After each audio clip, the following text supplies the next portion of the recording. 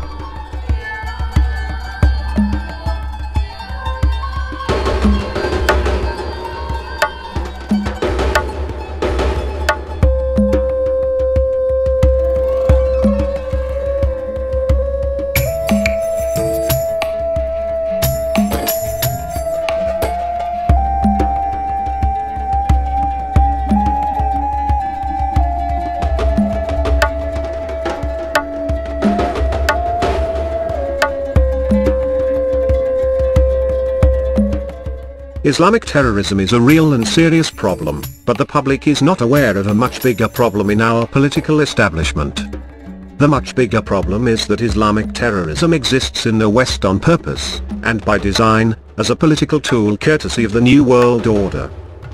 The Vatican declared secular humanism evil to be done away with, and thus by implication, Western secular democratic governments, where freedom of religion is considered a basic human right.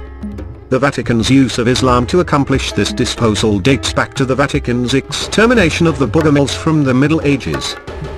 The Vatican is using a very old playbook, and it is precisely the one Walid Shoebat is being paid to hide.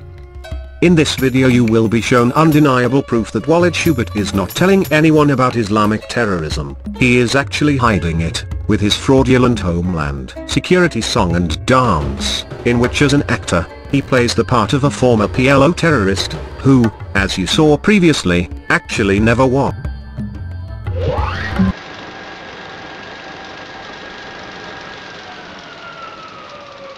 this video series, you saw that the use of terrorism as a political and financial weapon, had its roots in the Roman Reich. And you saw that all modern terrorism can be traced back historically to the Nazis and their terrorist training camp in Brandenburg, Germany, as part of their efforts to re-establish Hitler's Third Reich, also known as the New World Order, or the restoration of the Pope's Holy Roman Empire. You also saw how modern terrorism is traced to the IRA who were collaborators with the Nazis prior to World War II, who trained at Brandenburg, and who have exported their expertise to the Middle East, along with Nazi anti-Semitic propaganda broadcast from Radio Zeesen, in Arabic, Persian and Egyptian to Muslims. and that now as a part of re-establishing Hitler's New World Order, terrorism is being sponsored across the globe in order to destabilize secular democratic governments, through financing from the Vatican. In part 2, you saw how disinformationists such as Alex Jones and Walid Shoebat are used to keep knowledge of who is really behind the spread and use of terrorism in modern societies concealed from the public through intentional disinformation. And in part 3, you saw how Walid Shoebat's counter-reformationist claim that the Muslim Mahdi is the Antichrist, is contradicted by the plain facts of the texts of scripture. In this video, you will see how the Jesuits have been training people to go so far as to actually infiltrate other religions and take them over.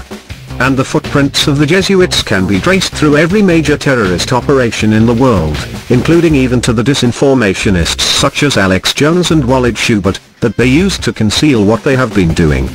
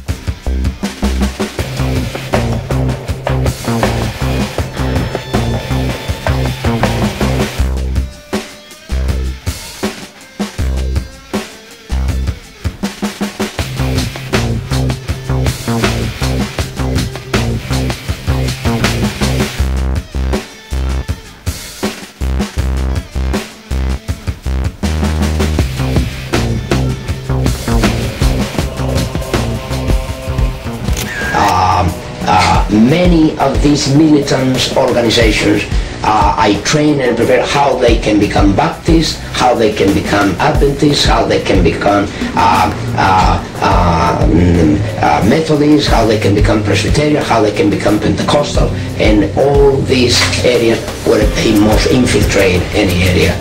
In every country, uh, the Roman Catholicism display this promotion uh, to the uh, so-called Virgin they display to different militant organizations the promotional need for certain saint or virgin or whatever. The Opus Dei is another arm of the Jesuits. but that means, you have Masons, uh, you have uh, Illuminatis, you have uh, uh the you have the New Age movement, you have um, the Trilateral Commission, you have the Club of Rome, uh, uh, you have uh, so many others. There are in different areas working through certain programs what they need in that particular area uh, where these organizations move these, uh, whether are secret or public organizations, they need to control certain area of certain uh, people. And, and this is where and how they'll be ready to have them under control. While the Council of Trent was the first council to be managed by the Jesuit order, the Vatican Council was brought about by the same Jesuit order with the same intention. And you know the intention of the Council of Trent. The intention behind the Council of Trent was the Counter-Reformation. What was the intent of the Vatican Council II? Another counter-reformation, but called today, how you call it? Renewal. You see the point? Now, the change wasn't made, but the intentions were the same. Yeah.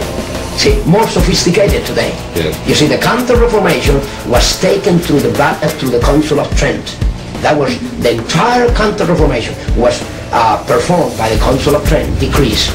then through that time until today, Vatican Council II came about with the idea of renewal. That means another step forward and the final, I will say this is the final stage of a counter-reformation.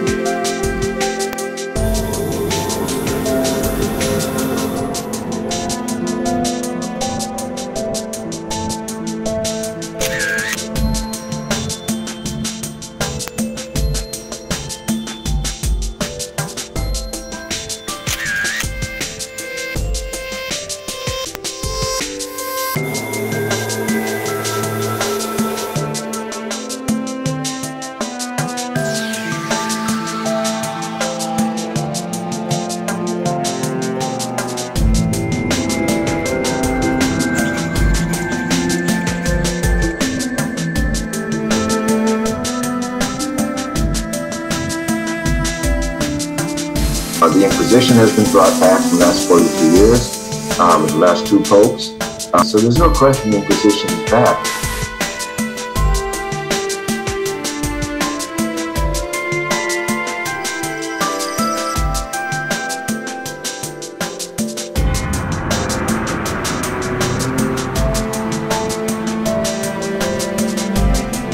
There's a real link in, in politics with that. Um, I point out, for example, under Reagan, the CIA linked up with Pope John Paul II, and they attacked together. They attacked liberation theology-based communities in Latin America, and it really destroyed that whole movement uh, as, as, as, as it was anyway, and replaced it with Opus Dei, Liberation, all of which are extreme right-wing groups.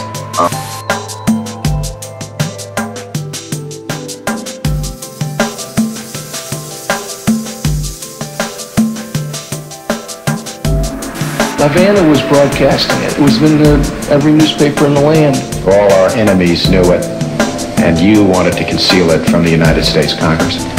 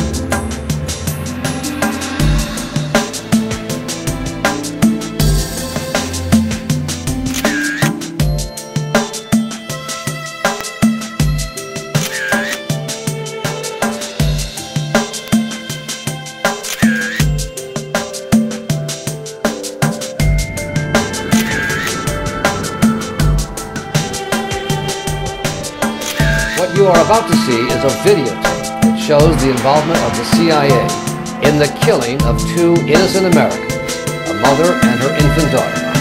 The tape was made almost nine years ago, and it's taken that long for the CIA to finally acknowledge its responsibility. The tape was shot from a CIA plane on assignment in Peru to target drug planes, send in Peruvian Air Force jets to shoot them down. The plane was not carrying drugs, but instead a Christian missionary family from Michigan, the Bowers. And this tape clearly shows the CIA's officers and pilots suspected that the Bowers plane did not fit the profile of a drug plane, did not stop the Peruvian jet fighters from opening fire. Bueno, Díaz 1408, soy Esteban, procedente de Islandia, a 4000 Ah, los militares están acá, no sé qué quieren. Yeah, I think we should. hey, Aider? Sí. He's going to Santa Clara. Aproximadamente a 37 millas de. The plane is talking to Iquitos Toy. Yeah, okay, okay.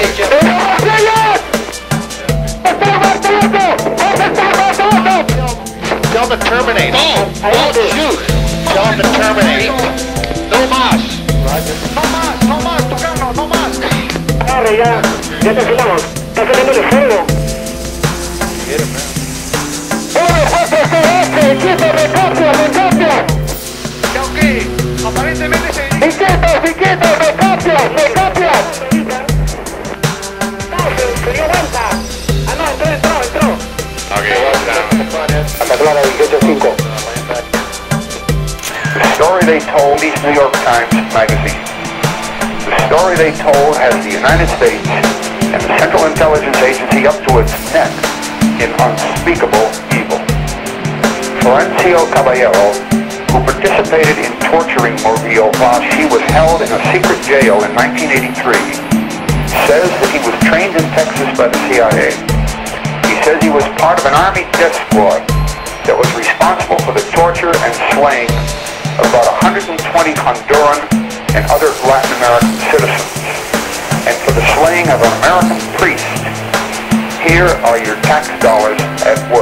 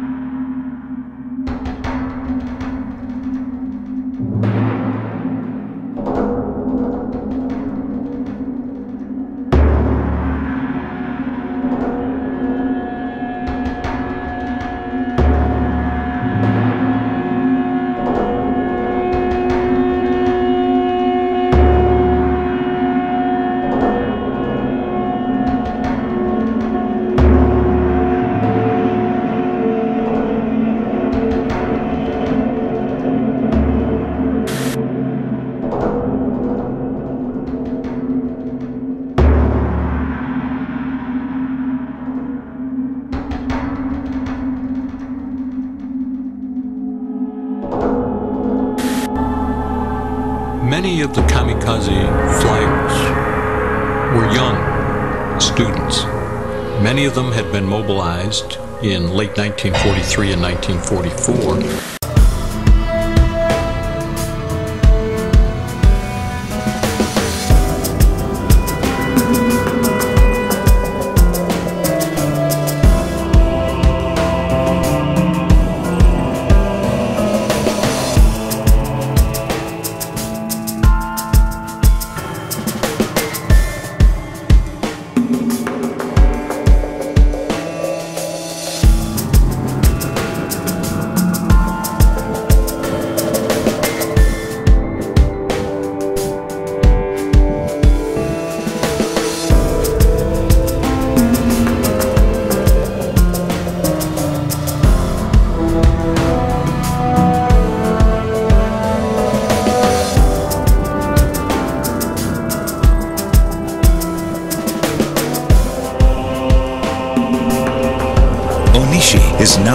Now free to form the very first elite suicide unit.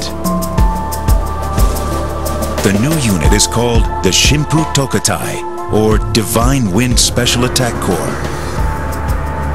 Shimpu is a more formal way to pronounce the two characters that spell kamikaze. Pilots volunteer by the hundreds and begin to undergo rigorous training. Each day began with the singing of the Japanese national anthem. Then, trainees would recite the imperial oath first given by Emperor Meiji to the Army and Navy in 1882. He had received a lunch of polished white rice, which by this time, late in the war, was quite a delicacy in Japan.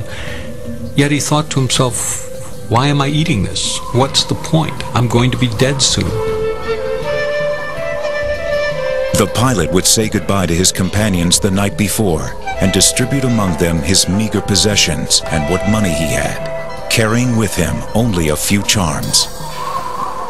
The Japanese kamikaze pilots would probably carry several charms or talisman. Normally, they'd have a headband pronouncing certain victory or sure to kill the Americans. Uh, they might have a flag inscribed with the names of other members of their units, wishing them success on their mission and possibly some would have a thousand stitch belt. This was what amounted to a belly band, and each stitch was collected by a mother, a girlfriend, a wife on street corners of cities or towns. They asked individuals to add one stitch, one stitch at a time, so that the thousand stitches would bring the wearer good luck and good fortune in this world and in the next. But the Japanese were not the only nation to create a suicide corps during World War II.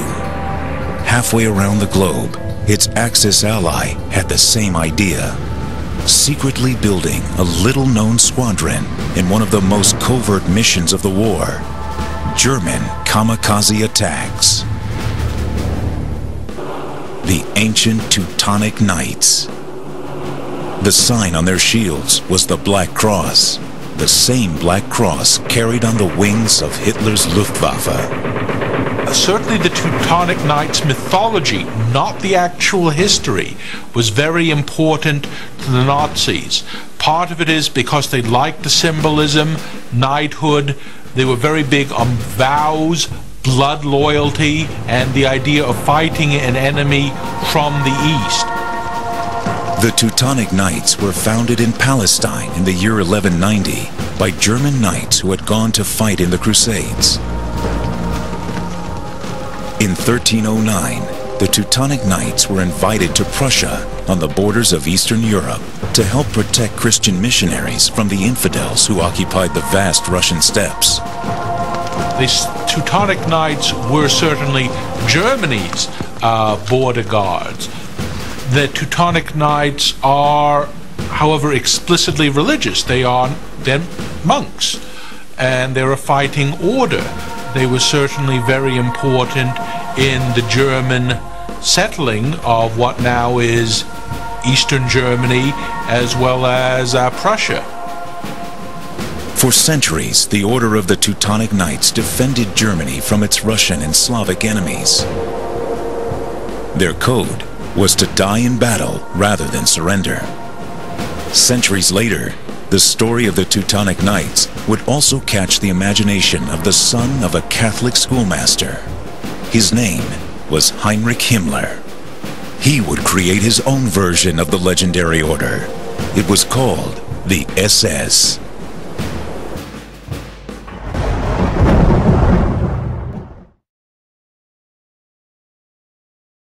Trade Center site. It's two blocks away.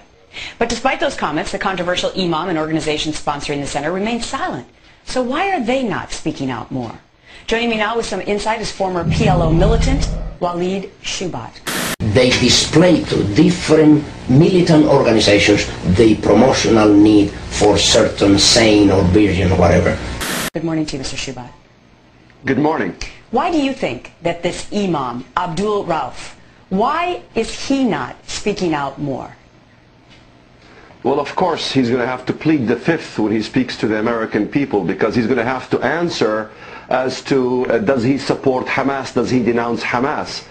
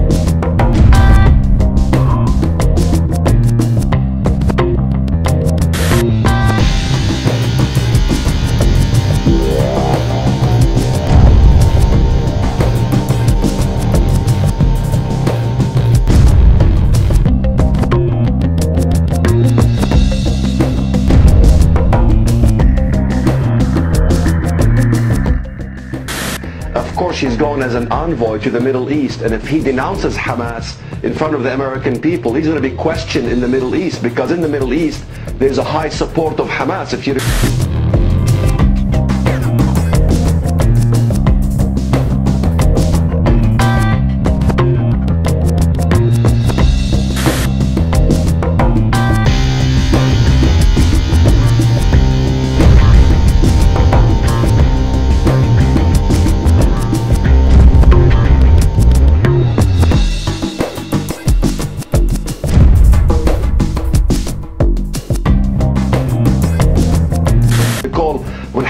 was elected, 73.2% of the Middle East wanted Hamas.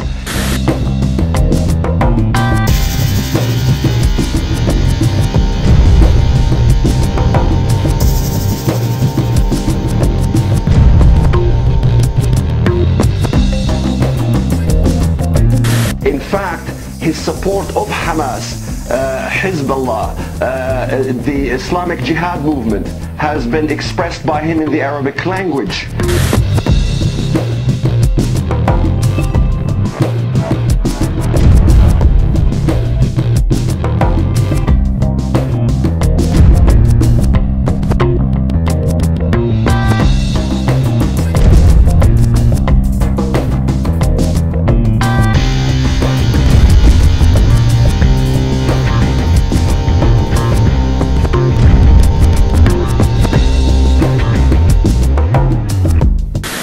Manifesto has been uh, expressed by in Al Ghad newspaper, in HadiLislam.com, in several news media. In fact, Americans should listen to this. He says that the trend towards Islamic law and justice begins by religious movements like Hamas, Hezbollah, the Islamic resistance. This is a straight support for terrorism.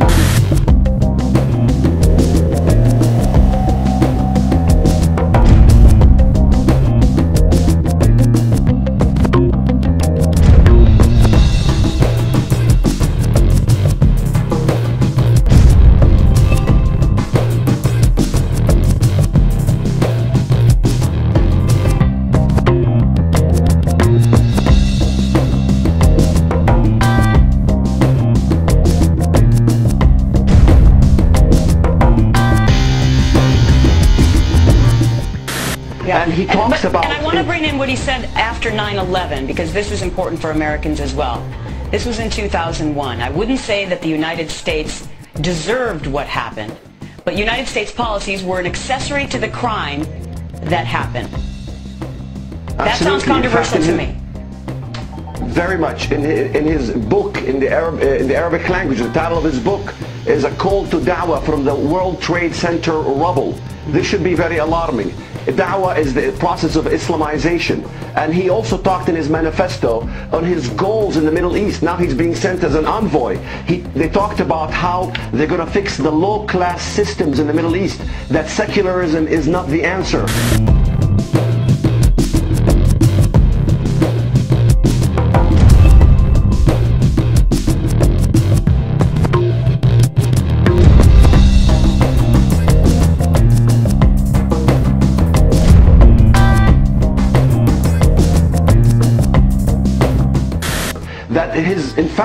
He made it very explicit and he stated that he wants to establish uh, an Islamic state uh, as the model of uh, in Arabia. Let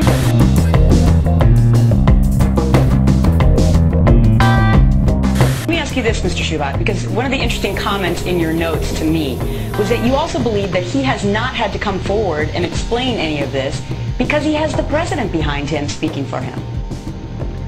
That's right. Who? I mean, how, how much does more does he want? He's got the president of the most powerful country in the world speaking for him.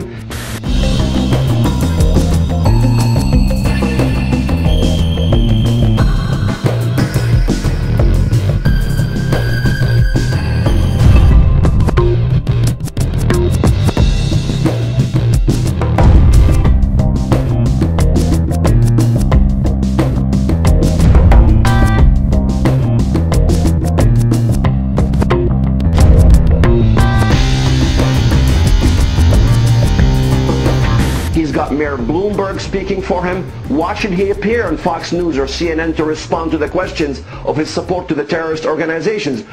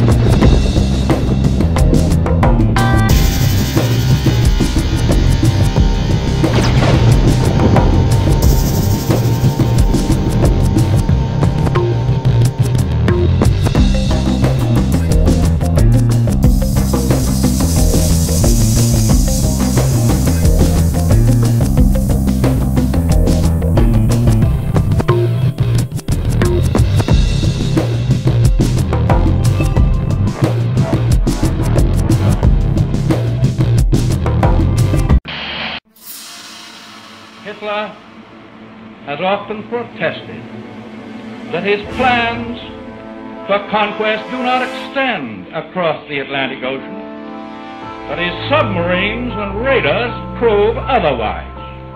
And so does the entire design of his new world order. We have before us the opportunity to forge for ourselves and for future generations a new world order. Now, the only chance we have as a country right now is for Osama bin Laden to, de to deploy and, and detonate a major weapon in the United States.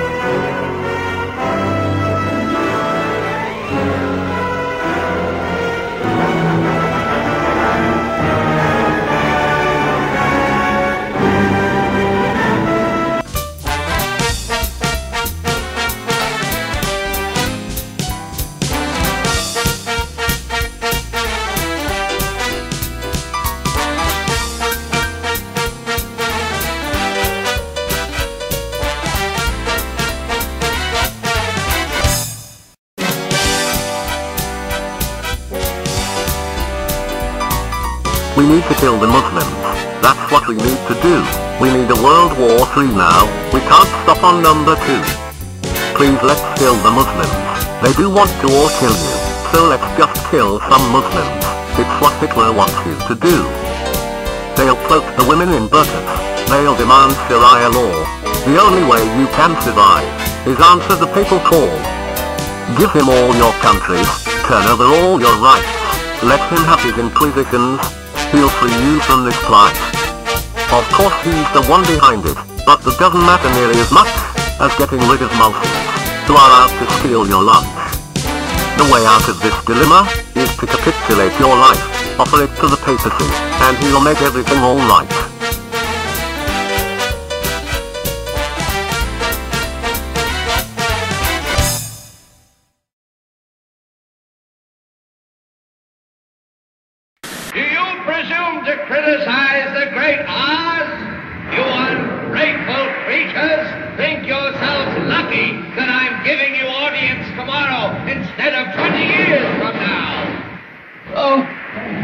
The great Oz has spoken. Oh, pay no attention to that man behind the curtain. The great Oz has spoken. Who are you? Oh, I, I, I am the great and powerful Wizard of Oz. You are? Uh, I don't believe you. no, I'm afraid it's true. There's no other wizard except me. You humbug! Yes, it's exactly so. I'm a humbug. Oh, you're a very bad man.